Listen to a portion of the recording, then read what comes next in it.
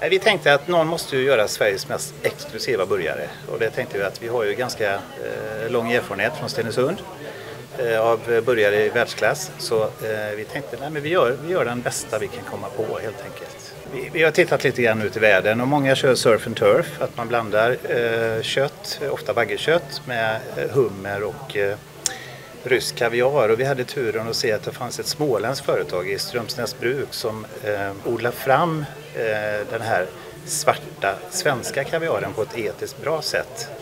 Och när vi hörde det så körde vi, ja men då, då kör vi på en surf and turf fast bara svenska ingredienser. Vi kör eh, våra svenska kött som vi är stolt eh, över. Vi kunde kört vagge men vi tycker vårt är bättre. Vi kör en ost ifrån eh, Värmland. Vi kör den här svenska kaviaren eh, och vi kör en eh, champagnevinägrett, en hollandaisesås som är slagen med champagnevinägrett och vi kör eh, eh, svensk hummer sa jag det. Nej. svensk hummer. Ja.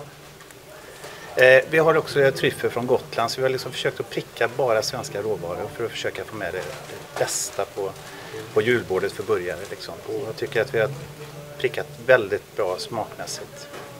Har du själv provat burgaren? Ja, fantastiskt god. Jättefint och balanserade smaker. Vi har haft hjälp av en eh, kock, eller två kockar som har provlagat sig fram och jag måste säga att jag är imponerad över resultatet. Jättefin på alla sätt.